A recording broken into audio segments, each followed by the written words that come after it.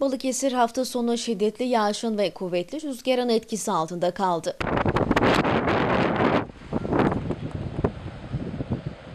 Susurluk ilçesinde şiddetli rüzgar bazı ağaçların devrilmesine neden oldu. Yol kenarlarındaki kaldırımlardan bazı ağaçları kökünden söküp devirdi.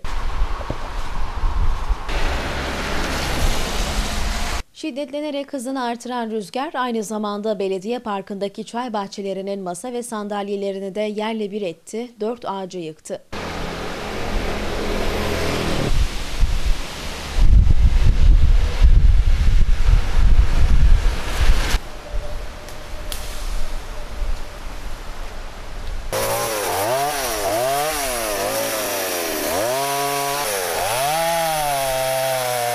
Ayvalık ilçesinde ise akşam saatlerinde etkisini göstermeye başlayan fırtına gece yarısından sonra şiddetini artırarak sahil bantlarında bağlı bulunan küçük balıkçı teknelerini batırdı.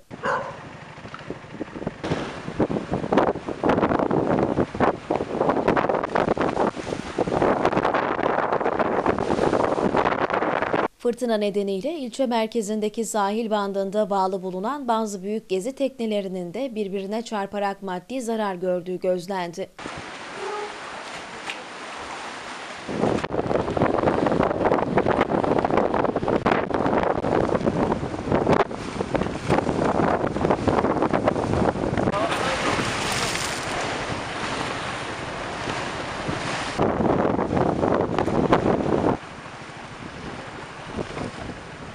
Bandırmada ise gece saatlerinde etkisini artıran fırtına nedeniyle deniz ulaşımı durdu.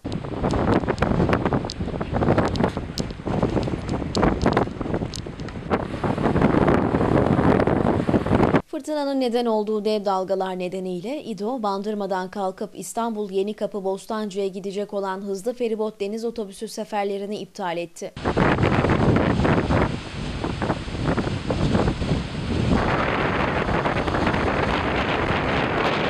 Metrelerce yüksekliğe ulaşan dev dalgalar yüzünden balıkçı tekneleri de denize açılamadı. Bazı küçük tekne sahipleri gece boyunca su dolan teknelerinde su tahliyesi yapıp teknelerini kıyıya çekti. Belediye ekipleri de hafta sonu boyunca yoğun çaba gösterdi.